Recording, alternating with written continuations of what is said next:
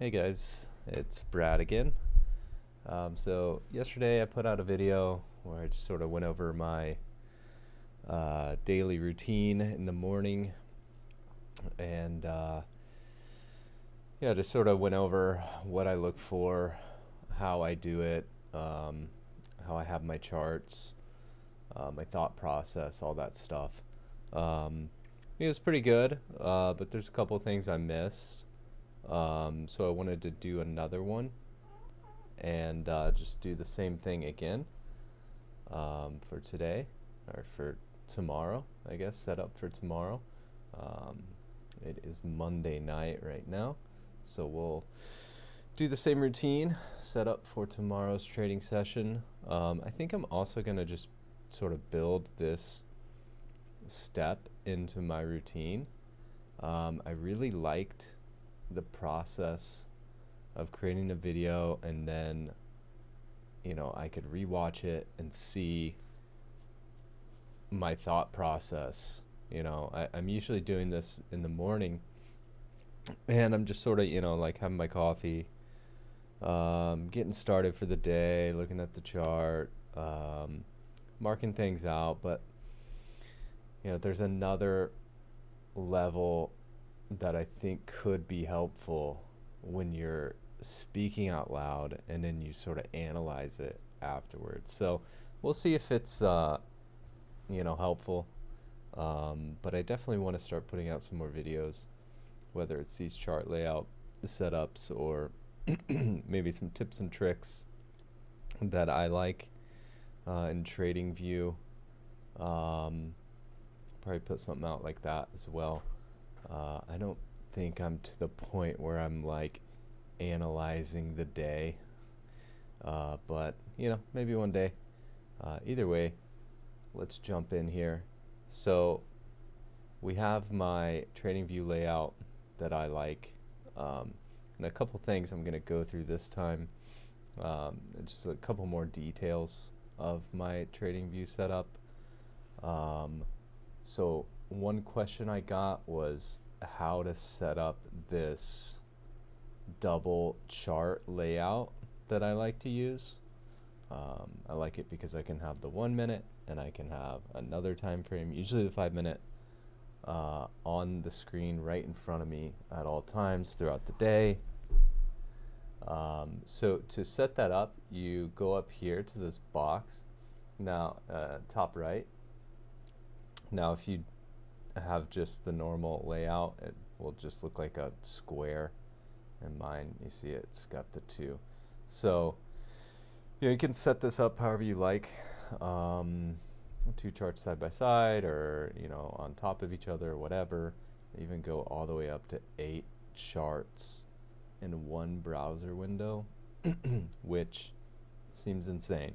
Um, you do need some of the paid versions. I think mine, the the two chart, you need the first paid version, which I believe is fifteen dollars a month.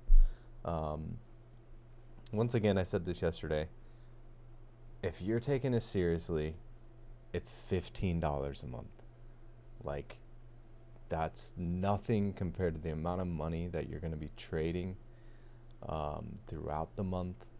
So just add that as part of your investment, part of your tuition in learning how to be a successful day trader, in my opinion.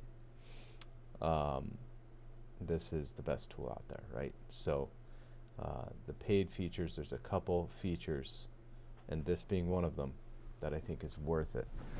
Um, there's also, you know, you get more indicators and stuff like that.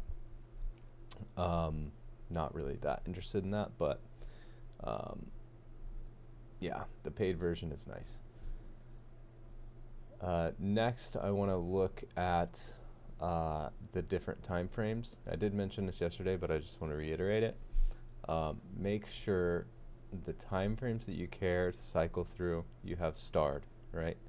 So you click on that little arrow, you hit the star next to whatever time frame you want. Let's say you want to start doing 30 minutes and there it is it's in the bar there so um, that's very helpful Um, another thing I didn't go over in the last video, this little toolbar, right? This is very uh, helpful and you should take advantage of the little favorites toolbar. You have all your tools over here on the left, right? But there's only a couple you really should be using, especially in the middle of the trading day. Um, I have some on here that I never use, but uh, the main ones, you know, horizontal lines, horizontal rays, fib, rectangle. It's pretty much what I use. Vertical line can be helpful if you want to like segment time. So you want to put some lines like at 9:30 open or something. It's it's an easy way to to see maybe everything to the left you don't care about as much or whatever. Something like that. So to get tools onto this bar, what you do is you go over to the left and it's the same as the time frame thing. They have these little stars. You hit the star and it shows up on the bar. So get that set up. It will be very helpful throughout the trading days so you can just pop on targets and stuff like that. It's usually what I'm doing. Popping on targets, um, drawing gaps, pretty much the extent of what I'm doing throughout the day. But, you know, I'm looking around and um, I can do that really quick with the favorites and just knowing trading view and how it works. Um, I didn't go over my indicators. Um, I forgot to do that last video, so I wanted to hit on that as well. I use volume. Um, I think everyone uses volume, right? Um, it's important. I think it can help you figure out why something is moving differently, maybe. Um, for the theory that I work with, it's not like super crazy important, but it's a cool thing to see. I mean, it can just give you a better idea of why something's happening. Um, the only other indicator I use is this FVG one, this fair value gap. And make sure you get this one that has this made by this guy, Nephew Sam. Um, it's very good. So you would have noticed if you saw yesterday when I cleared all my drawings, I still have all these little boxes up. That's the indicator. That's not my drawing. So I have on the five minute side settings, I have the 15 minute gaps always shown. I want to be aware of those. And then I have the chart gaps, right? So I'm not always in five minute, but um, generally I am. So that will give me the five minute gaps and the 15 minute gaps. Um, if I'm in some other time frame, I want to see those gaps too. So I will by having the chart gaps. Um, on the one minute side, which I'm pretty much always keep on one minute, I have five minute gap, 15 minute gaps turned on and chart gaps, so the one minute gaps. Um, so those will always be there. Like I said, throughout the day, five minute, 15 minute gaps are really important to know where they are. Um, with the indicator, they're always going to show you don't have to worry about drawing them out. For other time frames, we'll draw them out. And that's part of the daily routine. So, uh, yeah, we can start going through that once again today. Uh, so, oh, and I think I fixed my mic. Let me know if it sounds a little better. Added a little bit of gain. Uh, so hopefully you don't hear background noise and crap, but should be better. All right, so starting out, as always, we remove drawings. Uh, I have all this crap that I put out there throughout the day. I want to start fresh. So we remove drawings. So now I am clean except for my fair value gap indicators, which are great. We're going to be using those to draw out our boxes. So we'll start with the daily. Um, the daily, my normal routine was previous day. Actually, this is previous day. High, right? And I went over templates yesterday, but I'll go over real quick again. Now you see I clicked on a horizontal line. Use control to snap it to the wick and you click it on. Then you go, you make your style however you want it. Hit save as on the template part and that will save your template forever. So I have all my templates saved. So usually I go previous high day with the wick. It matters. It's very important. Uh, so we have a template for that, high day. And then previous low of day. Now, oh, sorry, that was sell side liquidity. Um, ICT put a video out today. And I think I'm going to be changing up my routine a little bit because of the things that he pointed out in his video. Um, he mentioned a lot of targets based on previous day uh, points of interest that happened today, right? Um, I was able to get a lot of those targets from other areas, but mine were not as accurate as his. And I didn't have them starting out. I had to search around for some targets. So um, I sort of analyzed the difference and decided I probably should do something uh, a little different with my daily candle chart setup. Um, probably should start thinking about other candle uh, points. So we can start doing that here, right? So what I really want to think about is what other points of previous candle, like I could just go through and pick high and low of, you know, the last five days or something, right? That would, you know, they'll, they'll either be like super relevant or, um, you know, they might be helpful. I think that might be a waste of time, and I might be better served trying to just think of which ones would be significant uh, in the next day. I mean, it's a sort of the same thought process that I have when I'm going through the other time frames and marking gaps. I don't just mark the gaps that are there, you know, like every gap. I try to mark the ones that I think are going to be significant for the upcoming trading day.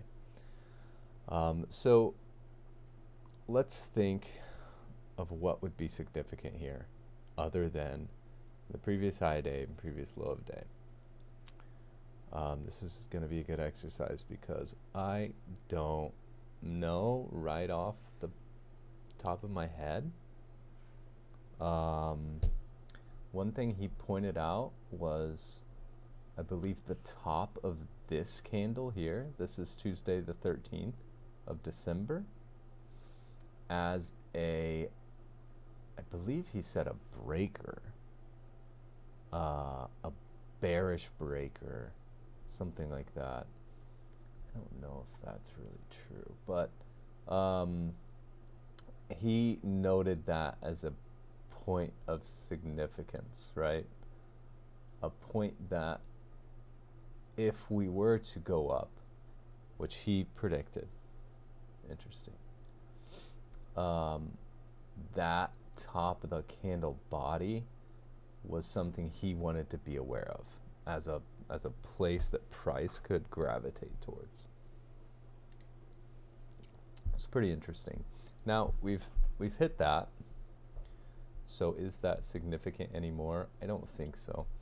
Um, I think we should probably consider some upside targets. Um, the way this ca these candles are looking right now, I mean, we have this gap, right? We had we had this big drawdown. We came up. Uh, we didn't really like come up. We came here and then shot up, right? Huge gap. Um, did some back and forth. Probably reacted off of this, right?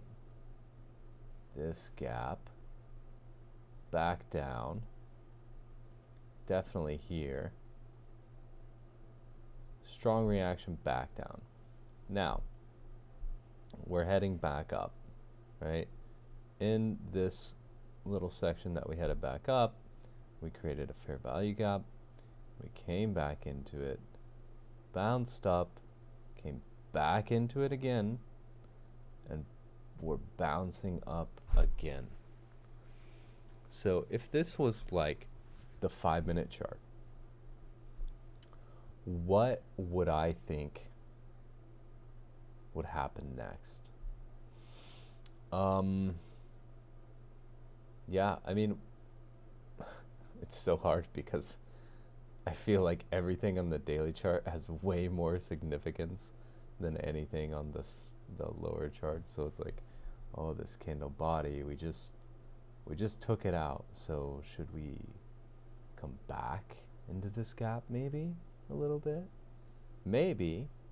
This is also well, I would say this is the order block, yeah. We took off order block sort of a weird one because it's just a little tiny red there and a candle that shot up. Um, huh. We came back down. Uh, are we going to come back? It doesn't really matter. Um, let me pick a high side target, a couple more high side targets. So what I'm going to do for another high side target, I know for sure that this would be a high side target, right? I want to I want to take a fib and I want to go on that wick, right? That is definitely something that's going to be a high side target at some point. The 50% mark of that wick. And you'll notice my fib I just set to do um, 0.5, 1, 1.5, etc. So I can get, I, I really only care about the 50% mark. So that is 411775.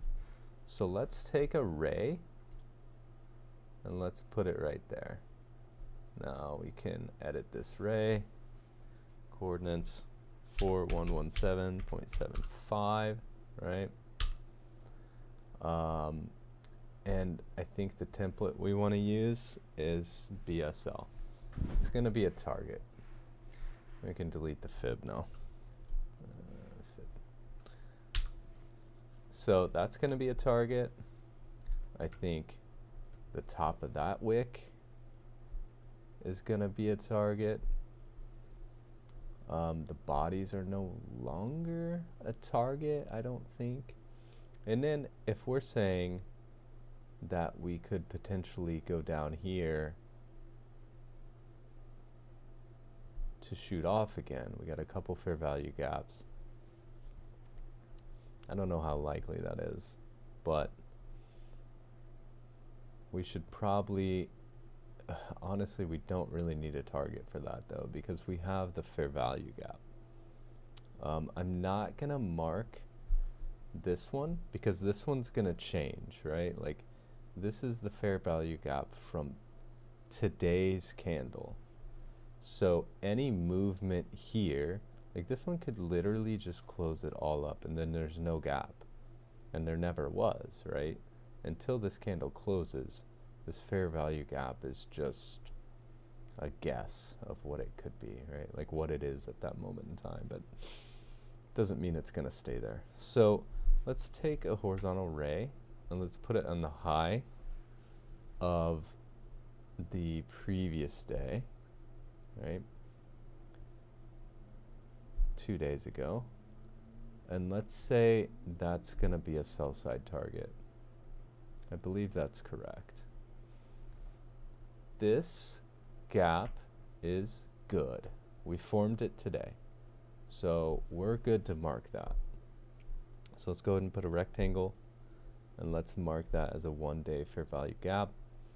Um, we want to go back to this one again. We clear our chart every day so we don't have this anymore. We had it. We've had it for a while. We still want to see it. Do we get all the way back down there? Very doubtful. But if we do, we want to see that gap.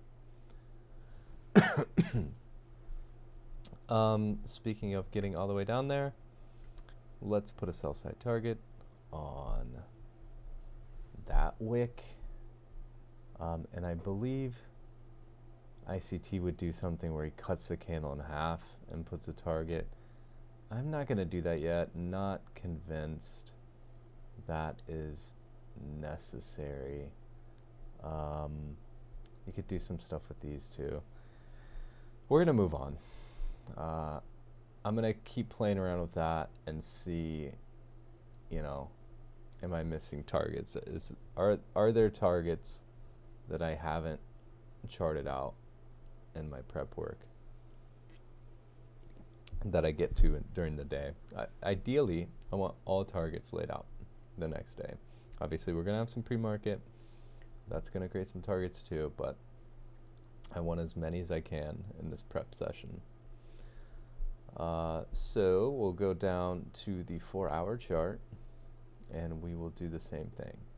So four hour chart, we have that daily gap there, we have the daily gap there, we have some gaps in the four hour. We have previous low of day right there, so we don't need to mark that wick.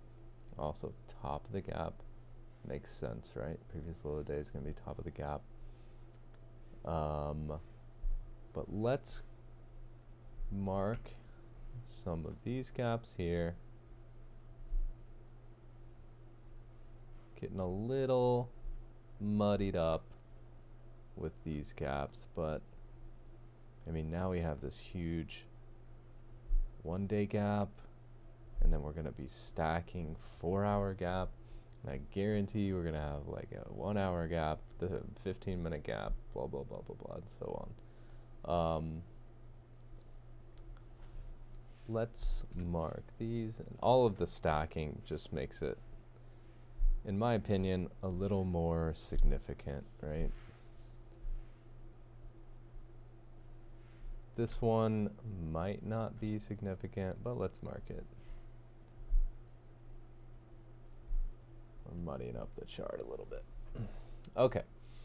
Um 40, 35 is what we're trading at now, so we don't have any of these marked out. Um, this we don't need to care about because it's top of gap, top of gap. We have a sell side target here. Interesting. Um, we probably should look for buy side targets. Oh, here we go. I believe this is something I didn't really catch yesterday. It's a four hour gap there. Um, we are trading, well, we traded into it today, but then we left. Um, some of these other ones, I'm not going to mark them out right at the moment. I think we're good on the four hour for now. There's another like huge target way up there. Let's mark it just, you know, for fun. Some buy side. Okay. So we're done with the four hour.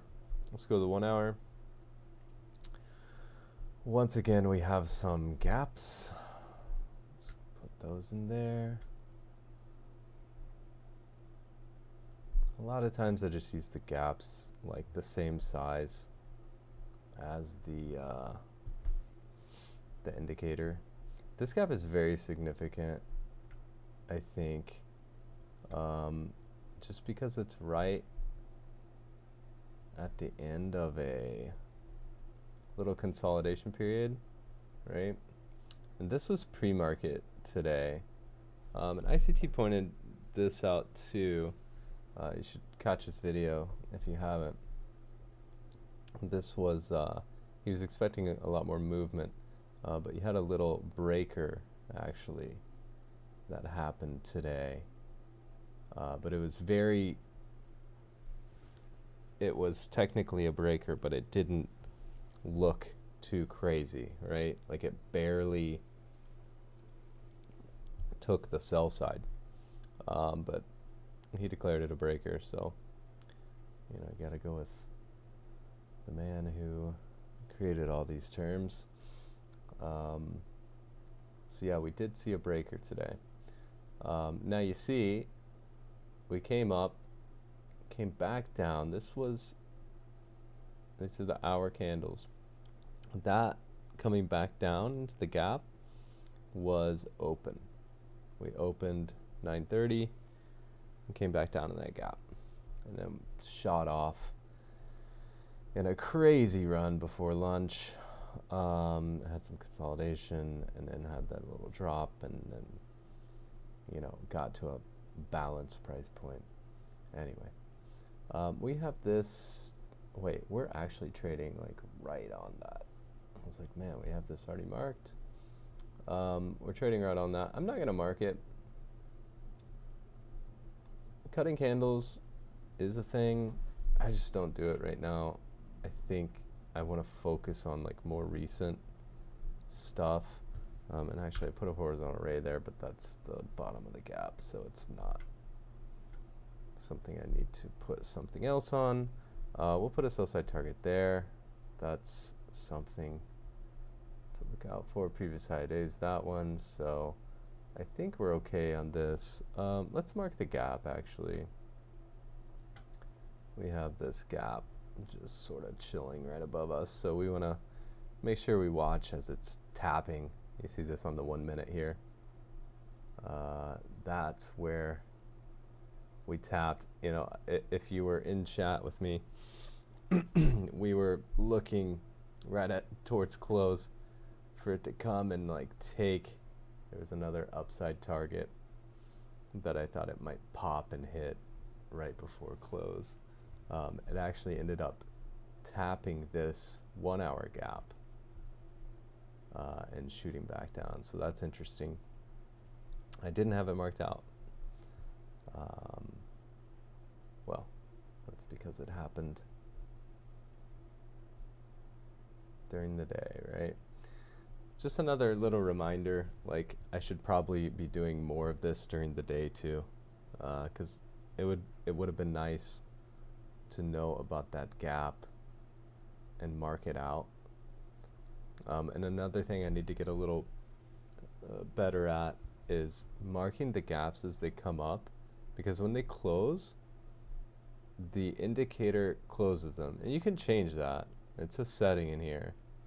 Um, but let's delete boxes after fill. The problem with not having that, when you turn that off, you just see gaps everywhere, and most of them don't mean anything. So um, I have it off, but any significant gaps, even if they close, like this five minute one, this one, actually, oh wait, I'm on the one minute chart, sorry. Um, if that were to close, I think I might still want to see it. So I need to get a little better at that, marking those out throughout the day so I could still keep track of them. Now we have a ton of one hour gaps here. I just really don't want to put the gaps in there because it's going to be so messy and unreadable. Like, what's the point, right? Um, I'm going to put a couple you know, another thing you could sort of do, this is the same run up, and we have very little drawdown. Um, I mean, you could just, uh, you could just mark different candle lows or something, or wick lows, I mean. Um, there are a couple that are significant, though. This one is very significant to me. Because it it shot the runoff, right? It did go right under it, but we shot off, we came back, the fair value gap that we came back into before we continued with a strong run. I mean, I think that's pretty significant. We also have this one down at the bottom, which started the initial run. That's pretty significant too. Um, I know I'm getting very wordy on this video, and I'm sorry. Uh, I'll work at doing doing this a little quicker in the future and still talking through my process, but uh, you're gonna have to just deal with it for now, huh? All right. Let's go to the 15 minute. And remember, this is the one I stop on uh, since I'm watching the five minute throughout the day. I might change that as well. Um, let's look at, we have this itty bitty one in the one hour. I think it matters. It, I think it could matter. Problem with these itty bitty ones, it's really hard to get the stupid tool to pull it over. You gotta really like zoom in or do this. Guess I could do that. Alright, let's pull this sucker over. Put our 15 minute fair value gap template on there. Pull it over a little bit more. Let's mark this one.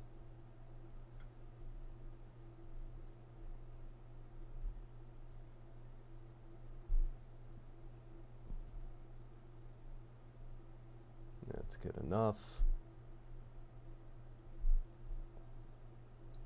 Um, this one's significant. It stopped our run down here this afternoon when we decided to come back up and chill out, which is something we predicted in the futures chat. Seemed like that was a balanced price point. Um, feel free to hang out in futures chat if you want to get my full thought process throughout the day. It's not perfect, um, but please come in and uh, help me improve. You know, I'm pretty much just journaling my thought process throughout the day, mainly for me, but also for you guys. And uh, the more people that jump jump in, the better it'll be. So I try to go up into your spy chat every now and then, join the conversation too, but it's really difficult for me to keep track of two markets throughout the day. Um, I'm going to mark these out. I mean, I just want to be aware of them, right? Not necessarily going to be significant tomorrow, but they might be. And if they are, I want to know about them. Um, I might end there on the 15. Uh, we got some, or sorry, on the gaps at least. We got some targets. I'm going to put some targets out. Uh, previous low of day, that's already marked. Um, obviously, this is a this is the target here. Sell side. Um, you might say this order block. This is another thing that uh, ICT was talking about today in his video. Um, he marks a lot of the order blocks for targets um, and points that it's going to you know bounce off of or whatever once it starts trading back in the order block. And I mean this these could be order blocks from days ago. Um, seems pretty accurate. I'm not great at that yet. You know he he'll look at this and say here's the order block. Well that's probably true. Like that candle 930 candle is probably what you would call the order block there right? Um, you could also what about this red candle, right? Is that an order block?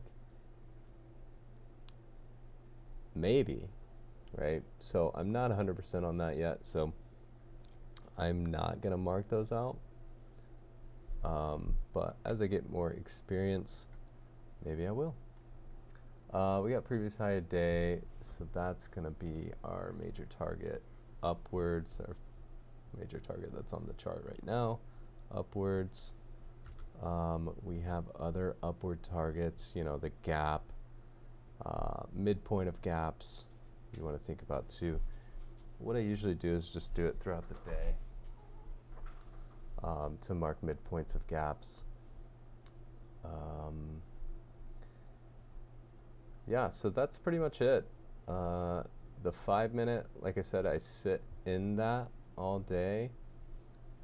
Another thing I might start doing is marking out the five minute gaps because I can lose track of them throughout the day if they're, you know, over this little uh, valley that formed. If they're over here and they're still significant, I'm likely not gonna see them if I'm like really hyper focused, but um, just some things to think about and maybe improve upon. Um, I would love to hear your guys' comments on this. Like, where do you think uh, other significant targets would be? Um, definitely trying to improve every day, you know? So that's the whole point of this. Um, hopefully, you guys are improving from this process as well. Um, let's help each other out and let's grow, let's learn. Uh, so I look forward to doing more of these, and I'll talk to you guys later.